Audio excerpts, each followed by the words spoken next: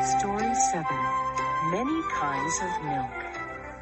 At school, Joey's teacher says, Milk is good for you. It helps you grow strong. Then she asks, Do you know where milk comes from?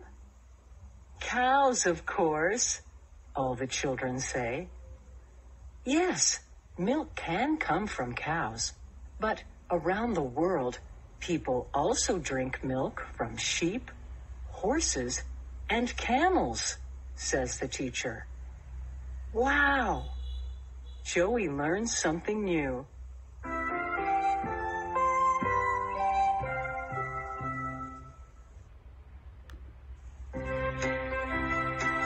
Story 7 Many Kinds of Milk.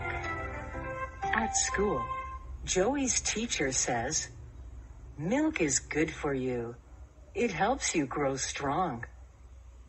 Then she asks, Do you know where milk comes from? Cows, of course, all the children say. Yes, milk can come from cows, but around the world, people also drink milk from sheep, horses, and camels, says the teacher. Wow! Joey learns something new.